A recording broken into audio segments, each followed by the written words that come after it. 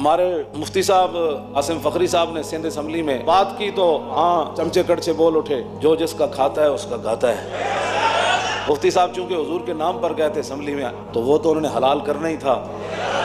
तो अल्लाह का शुक्र है कि उन्होंने हमारी लाज रखी, वहाँ बात की है, वहाँ सारे चमचे कड़चे बोल उठे। मैं कह, इतना दर्द कदी हजूर की इज़्ज़त वारी भी होया?